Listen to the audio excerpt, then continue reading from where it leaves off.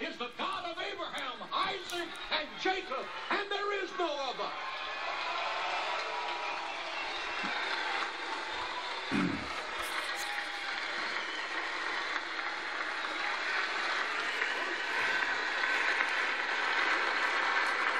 Satan's objective is to control your mind. He whispers in your ear, You're going to be totally defeated in this trial. If you don't have on your helmet, that thought is going to penetrate your brain and take you over. Put on your helmet. Jesus doesn't do it for you, you do it. 1 Peter 4 says, Beloved, think it not strange concerning the fiery trials you go through, but rejoice that when his glory is revealed, that you may be glad with exceeding joy. Peter says there's joy in victory. The prince of darkness comes and says, You're never going to get well. Put on the helmet of hope. It says, By his stripes I am healed. Jesus Christ is still the great physician, and the great physician is walking the aisles of this assembly right now. James 5 Is there anyone sick among you? Let them call for the elders of the church, and let them pray over them, anointing them with oil. And the prayer of faith shall save the sick, and the Lord shall raise them up. God prayer answering, healing God. Give him praise in the house of God.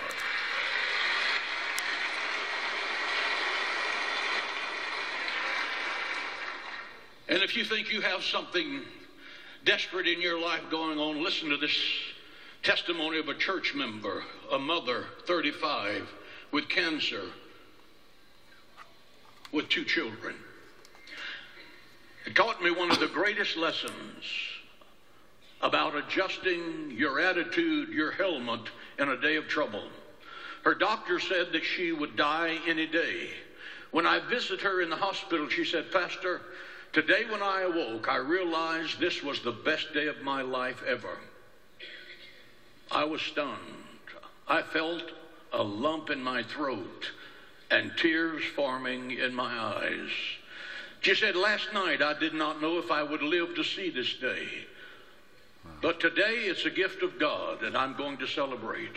I'm going to celebrate the blessings God has given to me. I'm going to celebrate the burdens He's given me to carry. I'm going to celebrate the hardships that have come to make me stronger. I'm going to celebrate with my head held high, and she didn't have a hair in her head. I'm going to celebrate by looking at the gifts of God, the beauty of the sunrise, the morning dew on the grass, the birds singing, the trees, the beautiful flowers, because I may not see them tomorrow. I'm going to celebrate by hugging and kissing my children passionately I'll give a sincere compliment to someone who is truly down. I'll stop worrying about what I don't have because I have today and God is with me.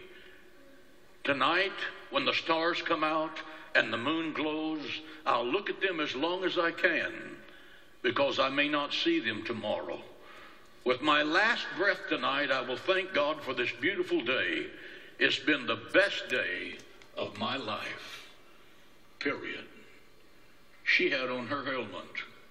She was in the storm, but the storm was not in her. Do you have your helmet on? Do you? Put it on. God has given you a shield to put around your heart, soul, mind, and body. Are you still running around complaining because somebody got your seat in the Christmas pageant last year? Mm-hmm. Get a life. Grow up. Take off your baby diapers and put on your big boy breeches. You're shaving now.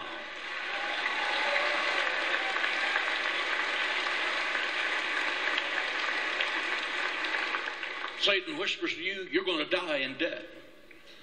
You're not ever really going to prosper. Let me give you four steps that'll give you a rocket ride to financial freedom. One, tithe. Why should uh-huh. you tithe? Because the Bible says if you don't, you live under a financial curse. Malachi, the third chapter, ninth verse. Plastic surgery helps. That would be cutting up your credit cards. Stop spending more than you make. That's simple. Go to work. Nothing in your life will work until you do. That's God's formula. Amen, brother. Quit waiting for the government to send it to you in the mailbox. You start making something happen for yourself. Yes, sir. Amen. Psalms 37, King David says, I have been young, now I'm, I am old. I have never seen the righteous forsaken, nor their seed begging bread. Philippians 4, now my God shall supply all of your need according to his riches in glory. Moses, it is the Lord that gives you the power to get well. Psalms 1, blessed is the man that walketh not in the counsel of the ungodly. He shall be like a tree planted by rivers of living water, and his leaf shall not wither, and whatsoever he doeth shall prosper. Hallelujah to the Lamb of God. Let's take some time for reflection. Let's reflect on your helmet of hope for a moment. Can you remember a time when you wanted to accomplish something really important? Before you got started, you were engulfed with thoughts of failure. Let me see your hand. You're much more honest than that 830 crowd. Feelings that you would not succeed. How many of you have ever given your best effort and it looked like you were failing? I want to give you this illustration because maybe you haven't yet given your best effort. A photographer was on a photo safari in Africa. He found his guide. His guide had a huge rifle. The guide said, That camera's not going to help you. We're going out here where there are lions who eat people for lunch. The photographer said, Oh, really, all I need is this camera. He said, Help yourself. They started walking into the brush, and a few hundred yards, sure enough, they stumbled upon a big, massive male lion Wow. who crouched, his teeth were shining. The man looked, and about 20 yards there was a tree, the only tree in sight. Hmm. The first limb is about 10 feet up, and he starts running with all of his might toward that tree. He stops and he looks behind him. The lion is there, ready to have him for lunch, and he said to himself, Self, we have to give our very best effort right now. And he jumped with everything he had. And he missed the limb, but he got it on the way down.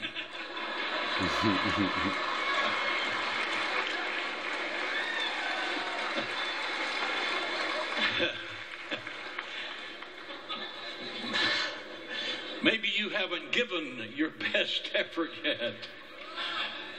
Have you ever tried to break a bad habit? Hmm, I'm going to get right by this in a hurry, but just listen. But your first attempts were invaded by thought that you would not be able to keep your resolve. How many of you have had that feeling January the 3rd? Mhm. You decide that you're going to lose weight, for instance, and you're going to win the battle of the bulge. This time, now or never. Do or die. I'm going to make it happen this year. And the next day, you eat everything in the refrigerator. Just the very thought of missing food makes you consume more.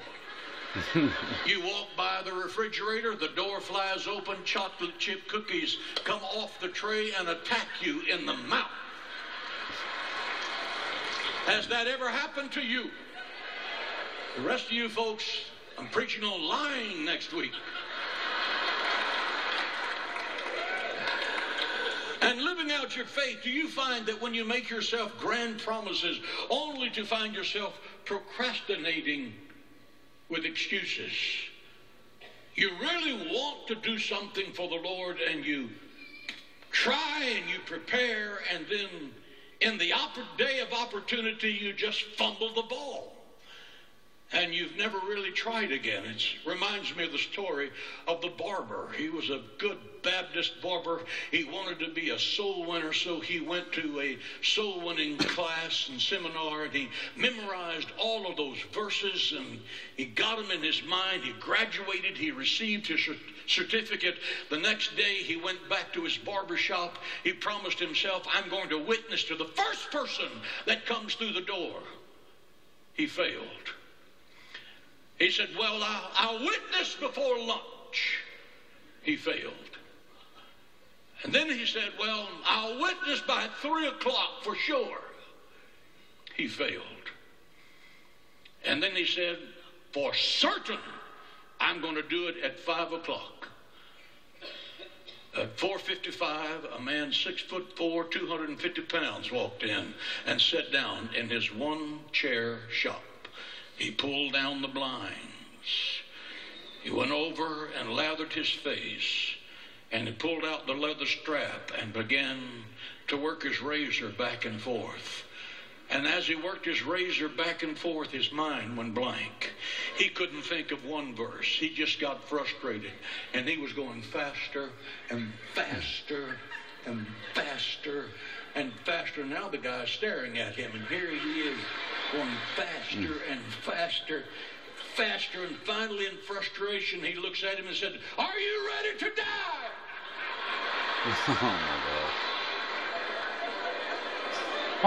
God.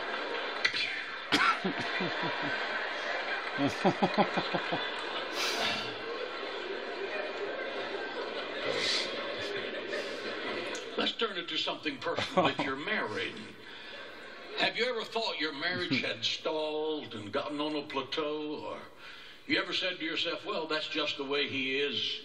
Uh, he's like his daddy, I'll just have to live with it. Or she's like her mother, she's not ever going to change. And we're just like everybody else. Now, I'm not going to ask you to ra- raise your hands because there'd be 200 taxis out here today trying to carry people home. A wife took her husband to the doctor and she told the doctor, I want you to give my husband a complete physical. He has no fire, he has no life, he has no energy. We've tried Niagara, we've tried Viagra, and nothing works. The doctor examined the husband sent him out and brought the angry wife in the office. And the doctor said to the wife, All your husband needs to have hope and fire in his life is for you to stop watching television and cook three good meals a day and have a reasonable sex life with this man. The wife stormed out the office. She slammed the door, went out and got in the car she was driving. And on the way home, the husband said to the wife, What did the doctor say to you? And she looked at him and said, The doctor said, You are going to die.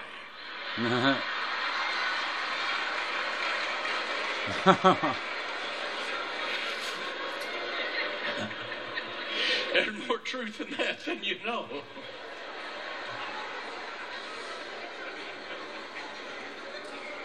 As parents, our thinking about our children can be invaded by disappointment and discouragement. At times, your mind is flooded with worry and anxiety. Are they ever really going to grow up? The father said to his son, I don't care if there is a crack in the wall in the basement. I want you to stop telling the people at school you come from a broken home. I had a father watching on national television some time ago wrote me a letter saying, Pastor Hagee said, how, do you, how did you raise your daughters to become such godly women? And I'm glad to give you several of my rules for dating one of my daughters when they lived at my house. Now, understand when they got married and left my house, I broke their dish. And they were under another authority. But while they were at my house, rule one they never dated anyone that was not a believer. Don't even think about it. Period.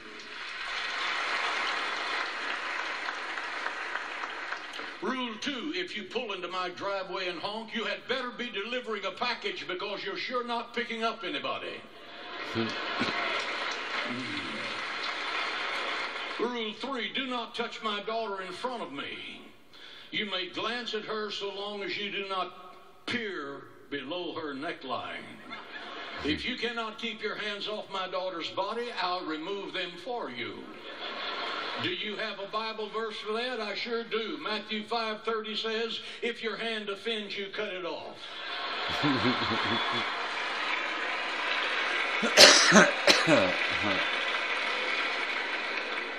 now think about the church. What do you expect from your church? What is your vision for the future of Cornerstone Church? What if all of the members in the church had your level of commitment? your level of faithful attendance. For those of you who come Christmas, Christmas and Easter. For those of you, the giving. If everyone gave like you, could we pay the light bill? If one prayed like you, would the devil live in the lobby of this church? What kind of church would this be? Don't measure your commitment by the other people, measure it by the Word of God. This book says, mm. Present your bodies a living sacrifice unto the Lord, which is your reasonable service. Jesus said, He that is not willing to forsake houses and land, mothers and fathers, cannot be my disciple. John the Revelator said about the New Testament Christians, they loved not their lives until the death. They died rather than deny Christ. If it rains on Sunday, people stay home. They'll go to a football game and fight snow flurries and freeze and think nothing of it. If you won't come to God's house, why should God take you to his house?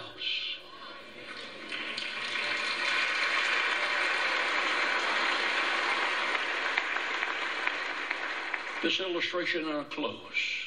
I'm talking about commitment. When you read in Roman history of the death of Perpetua, a 23 year old mother who had one child, her sin was that she had said, Jesus is Lord. And for that, the Roman government considered her an enemy of the state. They put her in the Roman Colosseum and put her in a cargo net. From the other end of the Colosseum, there was a bull that had his horns tipped with brass. That bull charged the cargo net over and over and over until her body was an emaciated mess of blood and bone. With her last ounce of strength, she reached to the Christians who were on the walls saying, Maranatha. Maranatha means the king is coming. And lifted the three fingers of the first century church in the name of the Father, the Son, and the Holy Spirit. And she died. I wonder if there would ever be a time if you would die for your faith. Where would we really be as a nation? Put on the helmet of hope. It drove Joshua and Caleb, 80 years of age, to climb the mountain and to take the land back for Israel. It caused David to take five stones and face Goliath. Why five? Because Goliath had four brothers. He didn't come to start a family feud, he came to kill them all. St. Paul, I've been beaten, I've been left for dead. I've been whipped by the Romans. I've been put in prison. I've been bitten by snakes. I've sung in the midnight hour in the jail of Philippi. There is no whining, no self pity, no why me, just we're more than conquerors through Christ who gives us all of these things. The Lord our God is looking for a victorious church a church that will take a stand in the evil day. Ladies and gentlemen, the soul of America is on the line. I challenge you to put on the helmet of hope, and when evil comes down the street, take it on. Do not back up. Do not surrender. Our God is an awesome God, and the victory is ours in Christ the Lord. Give him praise and glory in the house of God. Can we stand? Can we stand together? How many of you in this room would say, Pastor, I do not have my helmet on. I've surrendered to the spirit of despair, and I need to put my helmet on today. If that describes you, would you slip your hand up right where you are? God bless you. Hundreds. How many of you can say, Pastor, there's an area in my life where I need the rebirth of hope? Maybe it's in your marriage or with your children or in your business or with your health. But there's an area of your life where you need to have a rebirth of hope. Let me see a hand. Would you raise it? Hundreds, probably 90% of this congregation. How many of you here can say, I am consumed with a feeling that I will not succeed? Let me see a hand where you are. God can invade your mind and your life today, and that can change. I want you to pray this prayer with me. Those of you that are watching by television across America and around the world, you can pray this prayer. And at this very moment, you can put on the helmet of salvation, and your life, your health, your ministry, your business, everything you touch will turn around because there's a living fire in the depth of your soul that will overcome every adversary you face. Pray this prayer. Heavenly Father, Heavenly Father, in the name of the Lord Jesus, the name of the Lord Jesus, I come before your holy throne I come before your holy to receive hope, receive hope, hope that comes from the Lord. hope that comes from the Lord. Today, in faith believing, Today, in faith believing, I put on the helmet of hope I put on the helmet to receive the favor of God, to receive the favor the protection of God, the protection and the blessing of God. and the blessing of God. That every feeling Let every feeling that I will not succeed that I will not succeed die right now. die From this moment forward, this moment by God's grace, God's I'm going to be successful. going to be I'm going to achieve going to my divine destiny my divine because of the hope I have because of the hope in the living God. in the living Give the Lord praise and glory in the house of God. Bless his holy name. Bless his holy name. Bless his holy name. Raise your hand for the blessing. And now may the Lord bless you and may the Lord keep you. And may the Lord make his face to shine upon you. And may the Lord be gracious unto you and give you his peace.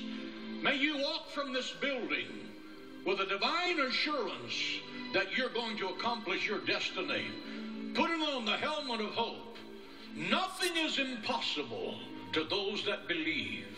What God has planned for you will become a reality because no force on this earth can prevent you from heaven's destiny. Receive that blessing in Jesus' name. Amen. God bless you.